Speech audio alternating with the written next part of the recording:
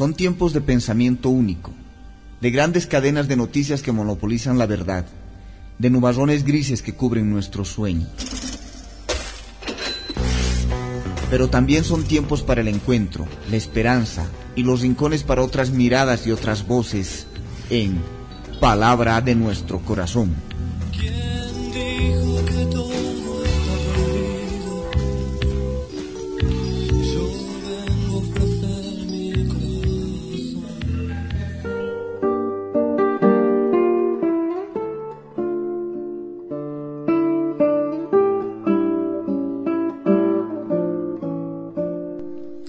Amigos y amigas de la red de la diversidad, sean ustedes bienvenidos y bienvenidas a estas palabras del corazón, a este encuentro con la diversidad y la diferencia, este encuentro con otras voces, con distintos puntos de vista, con distintas maneras de reflexionar y distintas temáticas.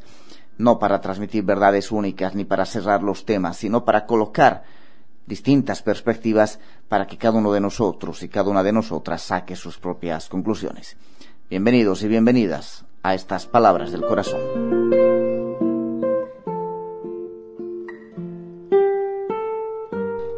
En el programa de hoy continuaremos con un capítulo del libro Los varones del Oriente, que tiene tres grandes capítulos escritos por Jimena Soruco, Gustavo Medeiros y Wilfredo Plata. Estamos compartiendo el capítulo de, escrito por Wilfredo Plata sobre eh, los discursos autonomistas de las élites cruceñas y el día de ayer veíamos cómo se ha construido una argumentación muy fuerte en estas élites sobre cómo el destino de Santa Cruz siempre estuvo separado del destino de los altoperuanos, del occidente indio del país, y que un error histórico fue que Santa Cruz fue parte de Bolivia desde su nacimiento. Y por eso hay una suerte de espíritu independiente, separatista de Santa Cruz respecto del resto del país, del cual no siente que tiene ni un origen ni un destino común.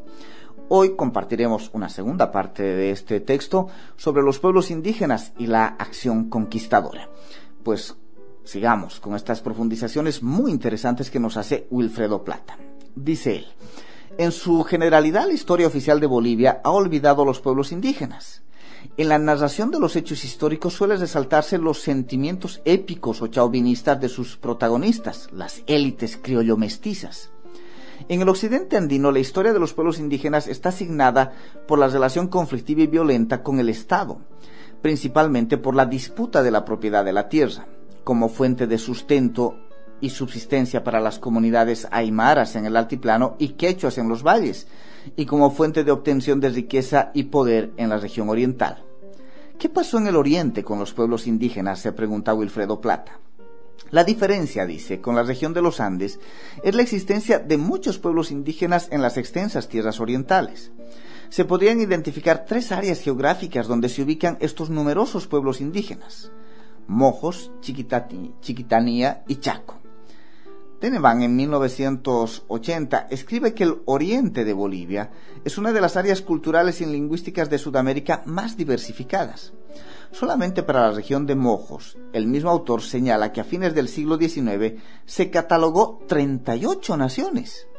Para la etapa contemporánea se identificaron 36 pueblos indígenas. En el artículo 5 del proyecto de nueva Constitución Política del Estado, se propone como lenguas oficiales, además del castellano, las 36 lenguas de las naciones y pueblos indígenas originario campesinos. En estas extensas regiones, la acción conquistadora de los españoles tuvo diferentes motivaciones. En la región de Mojos, la motivación fue la búsqueda de El Dorado, leyenda que aludía la existencia de una tierra de fabulosa riqueza. No existían esas fabulosas riquezas que buscaban los españoles. Lo que sí existía eran numerosos pueblos indígenas. A fines del siglo XVI, en 1597 más propiamente, la corona española, mediante una cédula real, otorgó a los jesuitas de Santa Cruz licencia para fundar misiones en Mojos y Chiquitos. De esta manera, la fundación de la mayoría de los pueblos en las regiones de Mojos, la Chiquitanía y el Chaco fue el fruto del trabajo de la Iglesia en su afán de evangelización de los pueblos indígenas de las tierras bajas. Esta obra misional, emprendida por los jesuitas en Mojos y la Chiquitanía en el siglo XVII, se denominó reducciones misionales. La historia de los pueblos indígenas en los departamentos del Beni, en la llanura de Mojos especialmente y en Santa Cruz, en la región de Chiquitos, en gran parte del periodo colonial, está ligada a la historia de las misiones. Esta experiencia de carácter socio-religiosa duró más de un siglo y medio, entre 1667 y 1842. A lo largo de aquel proceso pueden distinguirse cuatro etapas. La jesuítica, la administración de los curas diocesanos, la de los gobernadores civiles y la etapa post-independencia de Bolivia, según Roca, este historiador cruceño. Sin duda, la etapa más importante de la experiencia misional es la jesuítica, que abarca un siglo. Denevan en 1980 señala que los jesuitas entraron a Mojos en 1668 y salieron en 1768, es decir, un siglo, de acuerdo con el decreto del año anterior que los expulsaba de América. La importancia de, de, las misiones jesuíticas para Bolivia radica en que fue de carácter geoestratégico para el país, porque impidió el avance y la anexión de segmentos territoriales misionales al Brasil, impidió que algunos segmentos de lo que hoy llamamos el Oriente no se terminen anexando al Brasil.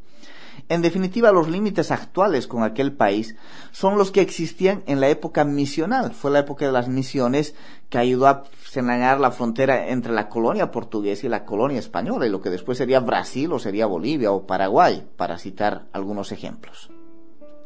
La sociedad misional tuvo como elementos aglutinantes el catolicismo, principalmente la parte ritual y externa de éste, y la opción tomada por los nativos de vivir congregados antes que disgregados. A este juicio de Roca contrastemos la visión que tiene Denevan. Dice Denevan, el impacto de los padres fue mucho mayor de lo que podía esperarse de su pequeño número. Los jesuitas contribuyeron a la despoblación de mojos al introducir enfermedades y al crear nuevas condiciones de vida que fomentaban las epidemias crearon nuevos esquemas políticos y de doblamiento al reunir las aldeas indígenas dispersas en poblaciones misionales numerosas. Destruyeron buena parte de la cultura nativa, sustituyéndola con nuevas lenguas, nuevos cultivos, nuevos oficios y habilidades y nuevas tradiciones. La obra misional de Mojos y Chiquitos denominó neófitos a los indígenas, a quienes había que imponerles una nueva forma de vida, desde los primeros años de la conquista se buscaba el Dorado, una tierra fabulosa de riquezas. Los españoles intentaron conquistar estos pueblos desde varios flancos, desde el Alto Perú y desde Asunción, y ese fue uno de los motivos de la fundación de Santa Cruz de la Sierra. Si por norma los cruceños estaban impedidos formalmente de establecerse en las misiones de mojos y chiquitos mientras estuvieran presentes los jesuitas, una vez expulsados estos en 1767, cuando se expulsaron los jesuitas, la conducción de las misiones pasó por varias administraciones. La primera de ellas de los curas diocesanos del obispado de Santa Cruz, luego las administraciones civiles. En esta etapa, las misiones entraron en decadencia. Con el advenimiento de la República a finales del siglo XIX, devino la explotación de la industria de la goma en el noreste amazónico. Con ello, la conquista de las tierras orientales por parte de emprendedores cruceños significó más bien una despiadada agresión mediante los denominados enganches, cuya finalidad era obtener mano de obra barata en los territorios indígenas y el saqueo de los recursos del bosque. Lo que nos está planteando esta otra lectura, a diferencia de la que tuvimos el día de ayer, es que ese copamiento del territorio oriental por los, entre comillas, cruceños, no era una misión altruista, era una misión económica que tenía que ver con el saqueo de los recursos del bosque y el enganche de mano de obra barata en territorios indígenas, generando expoliación y dominación sobre estos pueblos indígenas. La goma nos dice Wilfredo Plata, fue junto a la plata y el estaño el principal sostén de la economía boliviana durante por lo menos tres décadas, de 1890 a 1920, según el propio Roca, historiador cruceño. Empero, como se señaló en el proceso de explotación de este recurso eh, natural, se cometieron muchos abusos a los pueblos indígenas de esta extensa región amazónica, a quienes se consideró como bárbaros o salvajes. En este emprendimiento, como señala el propio Roca y Antelo, dos justificadores de los discursos de las élites cruceñas, participaron los cruceños, y esa es una de las epopeyas mayores de la cual se enorgullecen. Este emprendimiento contó con el apoyo estatal mediante la promulgación de la ley del 23 de febrero de 1878, por la que la Asamblea Nacional de aquel año, ella ofrecía una legua cuadrada de terreno en los márgenes de los ríos Inambari o Beniparo, Purus, Madre de Dios, Beni, Pilcomayo, Bermejo y demás ríos del oriente y del sur a cada uno de los primeros exploradores o a los que, con sus capitales, hubiesen adquirido la posición de tierras ocupadas por los bárbaros. Es decir, ese estado altoperuano, centralista, ubicado en La Paz, que también era de élites en La Paz, no es que estuvo ajeno a la conquista del Oriente por los cruceños, entre comillas, sino que les daba la legalidad para que esos sectores de élite cruceña saqueasen la tierra de los pueblos indígenas. Ese Estado altoperuano centralista era cómplice de ese avasallamiento de estos sectores de élite de los territorios indígenas, como nos lo está indicando según esta ley de 1878. Ni el Estado, como dice Wilfredo Plata, ni el Estado ni los emprendedores cruceños tuvieron contemplación alguna de la población indígena todo con el afán de obtener beneficios de la industria gomera. El Estado les dio vía libre para que los patrones concesionarios actuaran como agentes suyos para incorporar a su geografía los territorios conquistados. Podían entonces dedicarse a aquellos, como en efecto se dedicaron, a una guerra de exterminio a fin de contrarrestar la acción defensiva de los indígenas, o que en el mejor de los casos sujetándolos a una modalidad de trabajo esclavista, con esta política, el Estado independiente actuaba con mucha más dureza con respecto a los indios que la ejercida en los tiempos de los reyes españoles. Como reconoce Roca, esa cita fue de Roca, este historiador cruceño que hace parte hoy de los discursos de las élites cruceñas, lo que pasó con los pueblos indígenas fue una verdadera guerra de exterminio, debido a la forma de trabajo esclavista con la aplicación del sistema de enganches que consistía en el trabajo forzado por deudas al acreedor o patrón. Haciendo un balance de los sucesos históricos relacionados a la conquista del Oriente, principalmente de los cruceños de origen hispano, como les gusta llamarse, debemos señalar que el discurso hegemónico de las élites intelectuales y políticas contemporáneas consiste en atribuirse para sí el mérito de la conquista y ocupación del territorio oriental y particularmente de los recursos naturales renovables y no renovables existentes en ese territorio. Sin embargo, si nos remitimos a los hechos históricos, la ocupación y doblamiento del oriente boliviano no ha sido una obra exclusiva de los cruceños de origen hispano por las siguientes razones. Primero, por más de un siglo y medio fueron las misiones religiosas, la jesuítica en particular, con toda su implicancia de imposición de la visión eurocentrista y aculturación de los diversos pueblos indígenas sometidos a las misiones, quienes sentaron la base de soberanía territorial del Estado colonial primero y republicano después. Como diría Thierry Sagnet, los misioneros se habían convertido en los mejores representantes del Estado central, en esas alejadas regiones denominadas de frontera, como son las regiones de Mojos, Chiquitos y el Chaco. En realidad, como se señala, como señala la historiadora cruceña Paula Peña, el espacio geográfico ocupado por los cruceños se limitó a su área más cercana. A fines del siglo XVIII, Viednas relataba que el espacio cruceño llegaba en el norte hasta Portachuelo y la Enconada, en el sur hasta Paurito, en el este hasta Pailas y en el oeste hasta la misión de Porongo. Además las misiones de Buenavista, Santa Rosa y San Carlos, es decir, su territorio era muy pequeño. Eran las misiones jesuíticas las que expandieron ese territorio. Segundo, en la etapa republicana, una vez suprimidas las misiones de mojos y chiquitos, comenzó la verdadera conquista de los cruceños, en particular de los territorios y pueblos indígenas. Pero este episodio, para los cruceños una epopeya, fue una verdadera agresión y expoliación de los territorios indígenas y sus recursos naturales.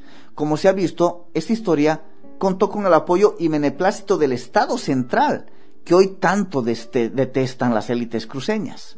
Tercero, para contradecir el discurso autonomista, los pueblos indígenas del Oriente han puesto en debate como una reivindicación histórica el tema del territorio. Fue precisamente la Marcha por la Dignidad y el Territorio en 1990 que visibilizó en la agenda nacional la problemática de los pueblos indígenas del Oriente. En este evento, los indígenas de la otrora región de Mojos, hoy departamento del Beni, reclamaron contra los abusos de los ganaderos y madereros que se apropiaron de los extensos territorios donde históricamente habitaban los pueblos indígenas y amenazaron la propia persistencia de estos pueblos. Para, para ejemplificar la relación conflictiva y violenta entre los pueblos indígenas del Oriente y la sociedad criolla mestiza blanca, presentamos a continuación dos episodios históricos que muestran fehacientemente esa agresión contra los pueblos indígenas, nos dice Wilfredo Plata. Y lo vamos a hacer brevemente porque vamos a resumir un poco el texto para poder alcanzar estos siete capítulos. El primero se suscitó en el departamento del Beni, denominado como la rebelión, la rebelión de Andrés Guayocho, indígena Itonama, que encabezó una sublevación indígena en 1887. Andrés Guayocho, indígena Itonama en el Beni con epicentro en la ciudad de Trinidad y como consecuencia precisamente de la política de enganches y el uso abusivo de la mano de obra indígena para el trabajo de explotación de la goma. El segundo está relacionado al sometimiento del pueblo guaraní chiriguano en la región del Chaco.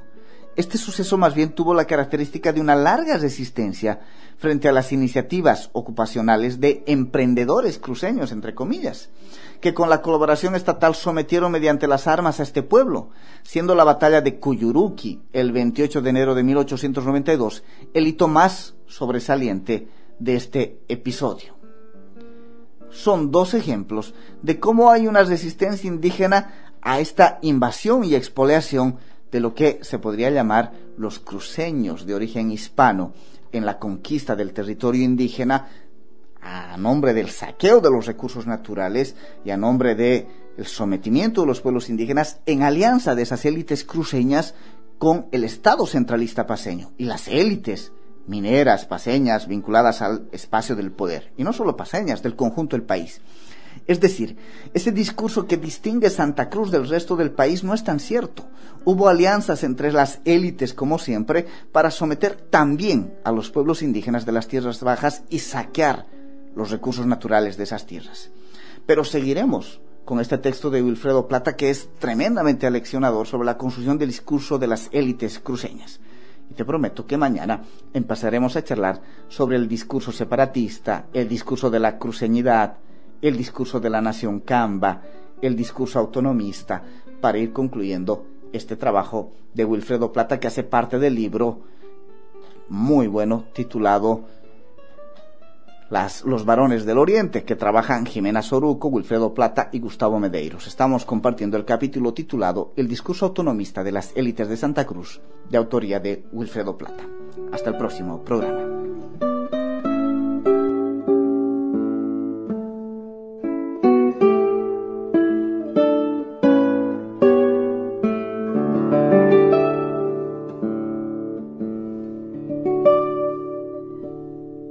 Tiempos de pensamiento único, de grandes cadenas de noticias que monopolizan la verdad, de nubarrones grises que cubren nuestro sueño. Pero también son tiempos para el encuentro, la esperanza y los rincones para otras miradas y otras voces en Palabra de nuestro corazón.